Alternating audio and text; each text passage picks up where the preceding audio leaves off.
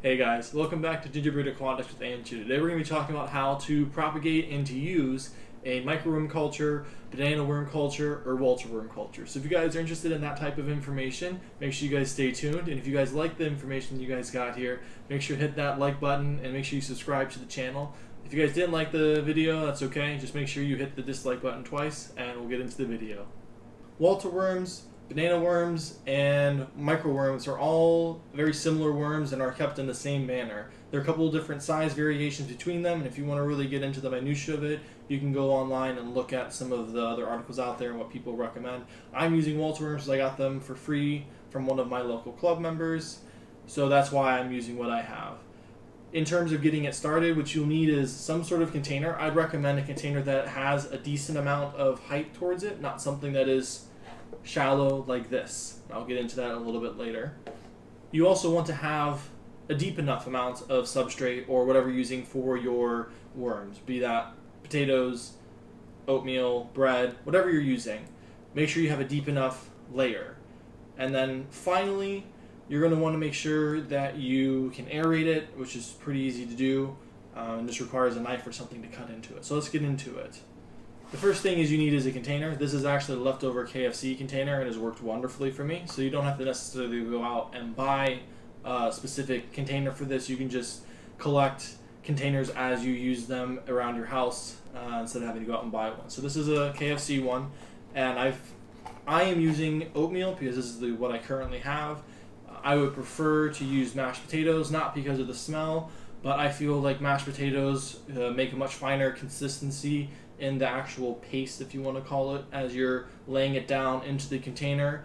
It isn't as large of chunks as say the oatmeal. The oatmeal you might get pick up a chunk by accident and you have a huge chunk of oatmeal in there, whereas with mashed potatoes it's usually a, a little bit of slurry of potatoes and it's very fine, so it's not a, a big deal. So I would disregarding the smell of the actual cultures, I haven't noticed any difference between them, just in terms of working with them and handling them and whatnot. I prefer instant mashed potatoes, but I have any on hand, hence instant oatmeal. So the first thing you want to do is get your substrate prepared.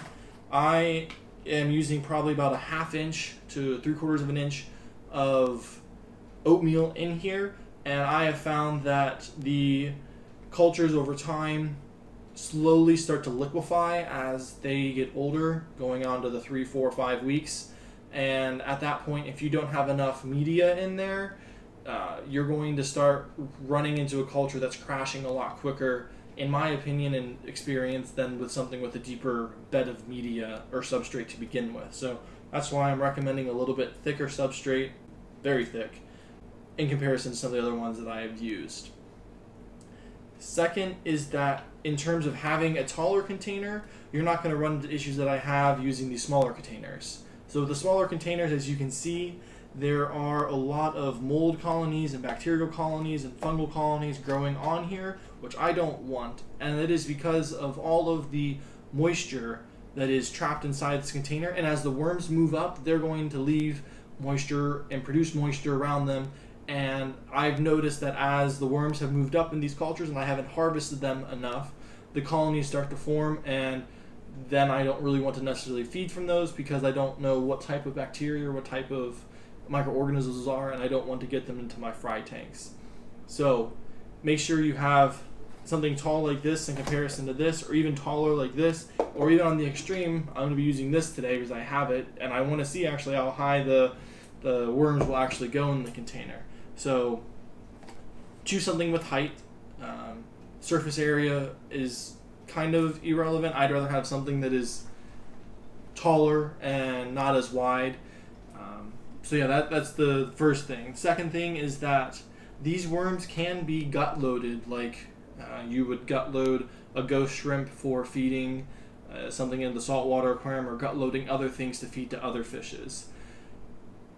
I'll include some research papers that I found on this, just so you guys, if you guys are interested, you guys can look into it and see what they're talking about. But I feel like this is a very good first food to feed fish, and if you can gut load them with minerals and vitamins and nutrients that they normally wouldn't be able to get, it's even better for the fish. So I don't have any spirulina powder currently on hand, and that's what I would have probably used today. I'm going to be sprinkling in a little bit of flake food, so that way I can at least get some of the nutrients and minerals that the fish would need into it, and the worms would then eat it, and then the when the fish eat them, they'll get all the nutrients that were in the fish food. So I'd probably I'd rather go with the spirulina powder so I can actually mix it and sprinkle it on top.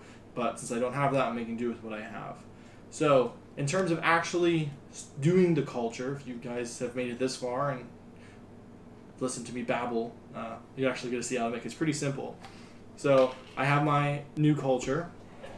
I have my old culture that's going bad, and all I'm going to do is take a spoon of the media, and there are tons and tons and tons of worms on it. I'm just going to go around and just sort of drizzle it around, and we'll spread it around, and in a couple of days, this will be booming already, and I'll be able to start feeding my fry with it. So yeah, that's that's really all it is. And from here, all I'm going to do is take the lid that I have, and I'm going to make a tiny little hole in the top part of the lid so that the uh, worms can get some fresh air. And I'm going to make sure that I put in some sort of cloth or polyfill or cotton or something in the nature so that way uh, bugs or other animals cannot get inside to the container but that air can still freely pass through it to make sure there's plenty of oxygen in there for the worms. So with that, the culture is done and I can just go ahead and uh, set this onto my little fish area and it's all good. I'm going to fill up the rest of these and I'll come back to you guys in just a little bit.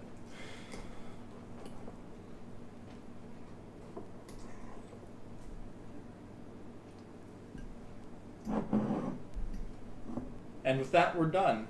Um, this and this are more realistic containers to be using. This one is, I want to see how far the worms will actually climb up it, so that's why I'm using this old pickle jar for that instance. And to feed these guys to your fish is real, really, really easy. There's a couple different ways you can do it depending on how much you want to be involved with it. I just take my finger, rub it, rub it around the interior of the container, and then just stick it in the tank, swirl it, and all the worms will fall off. You can use a toothpick or the end of a pipette or a uh, instead of Q-tip, toothpick, um, something that will just pick it up and that you'll be able to then transport it into your tank. So just a quick recap of everything that's happened in this video was I talked about a lot and there's a lot of information in here. Culturing these is relatively easily. You probably want to switch these out every four to five weeks or starting a new culture so in case yours crashes you have a backup. It's always good to give one to a friend so that way you can come knocking on their door in case you accidentally do crash yours. I think potatoes are superior to oatmeal. Uh, if you guys disagree with that, let me know in the comments below. You can also gut load your worms with either fish food or um, spirulina powder or other things of that nature that you can actually just add on top of the chosen substrate that you want to use.